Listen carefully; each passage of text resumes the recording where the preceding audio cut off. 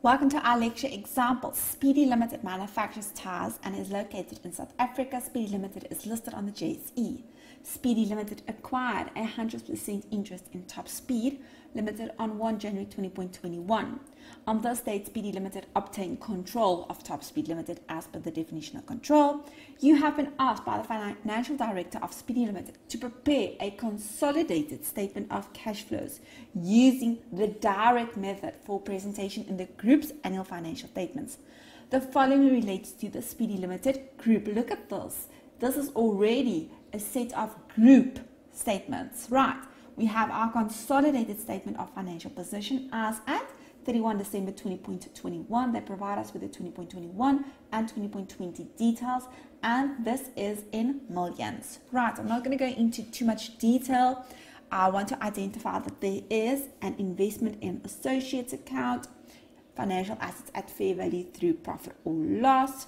We have inventories, trade and other receivables, cash and cash equivalents, share capital, retained earnings, just a note, remember, if we need to determine the dividends declared, because we need to disclose the dividends paid, the cash portion, we will have to reconcile our retained earnings account.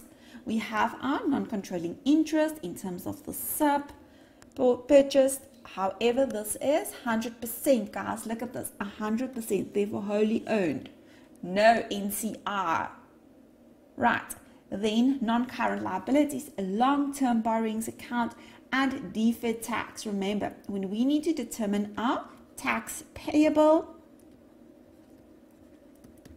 we need to first reconcile our deferred tax account to be able to calculate the tax payable, which should be included on the face of our cash flow statement. We have short-term borrowings including current portion of long-term borrowings. Look at this, guys. Therefore, we are able to identify that there is long-term borrowings. The current portion is included in our short-term borrowings line item. Then there is shareholders for dividends. Important to be able to identify dividends declared and paid. Right. Now, let's have a look at the next page.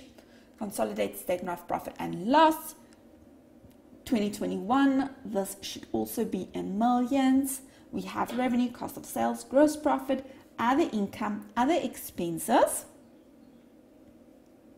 share of profit of associates.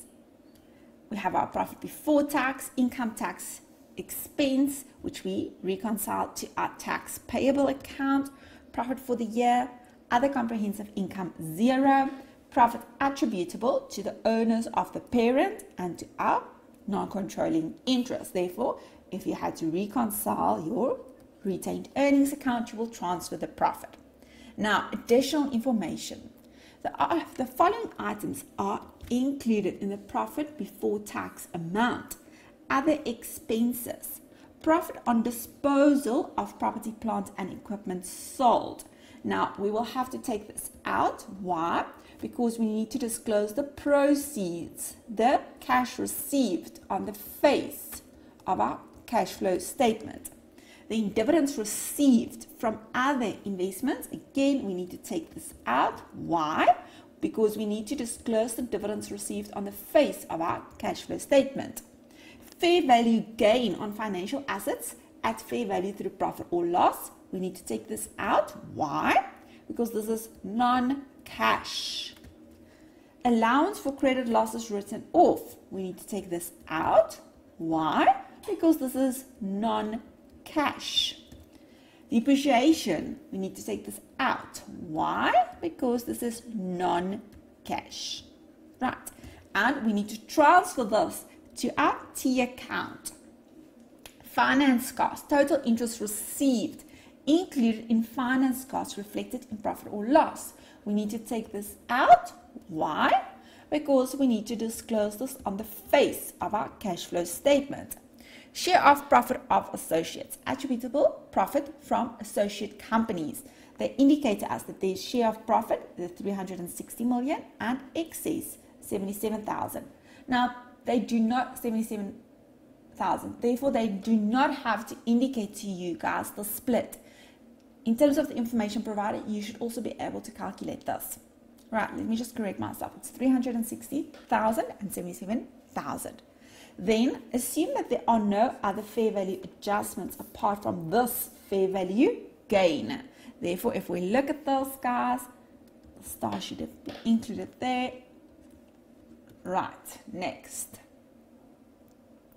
The proceeds from the disposal of property, plant, and equipment amounted to 890,100. Therefore, we are able to determine what is the carrying amount, which we need to include in our T account.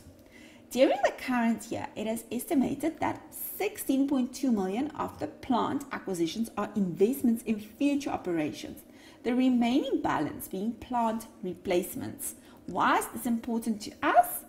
Because we will have to indicate on the face that the purchases of PPE, the total purchases relates to future operations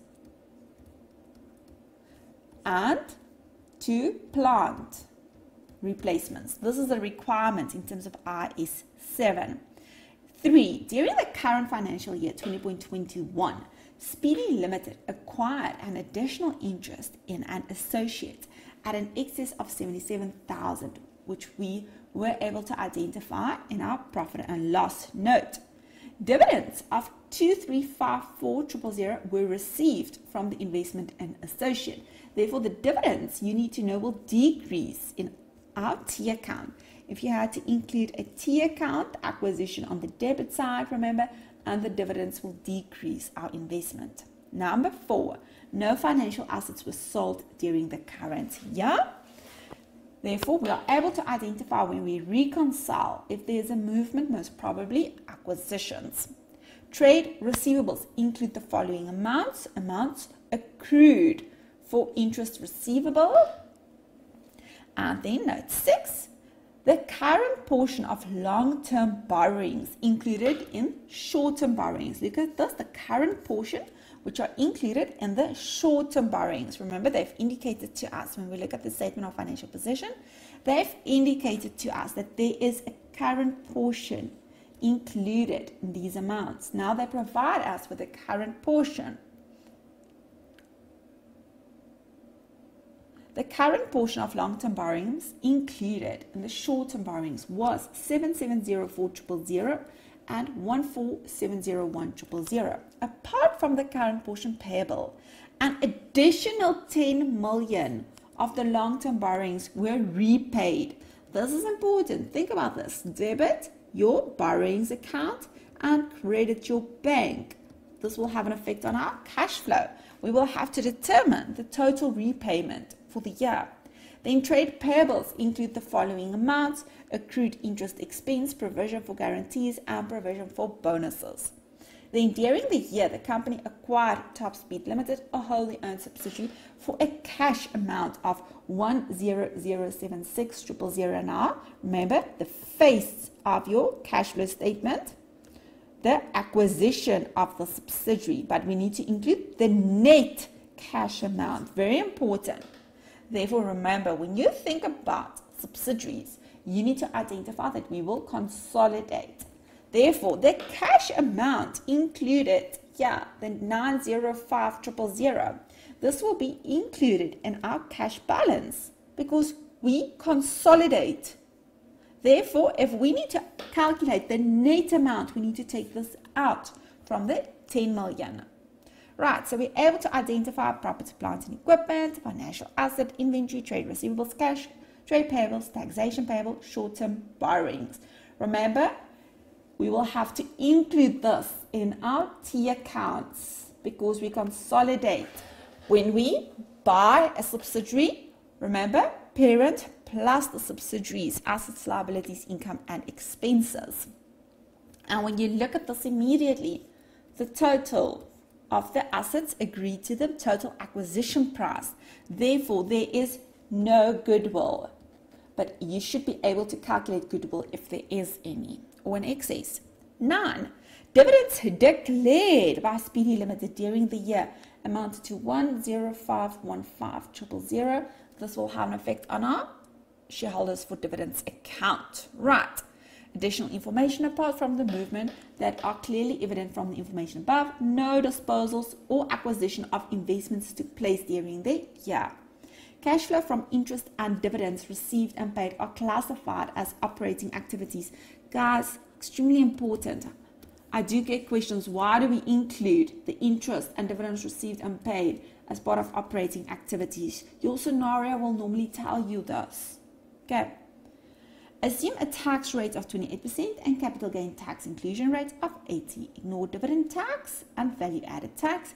None of the companies in the group are share traders for income tax purposes. Right. Required. Prepare the consolidated statement of cash flows of Speedy Limited Group for the year ended 31 December 2021 using the direct method. They tell you this. Remember, you should also be able to do this based on the indirect method in your part B of your IFRS textbooks is a copy of the templates. Number two, prepare the acquisition of the subsidiary note to the consolidated statement of cash flows of the Speedy Limited Group for the year ended 31 December 2021. Guys, this is your easy marks in a test. If you receive a note, you need to smile. You open your page immediately, you draft down your template, and you transfer the details. Please note comparative figures are not required. Round off all amounts to the nearest rand, and your answer must comply with IFRS. As always, think, plan. What is your plan of action? Have a proper exam technique approach.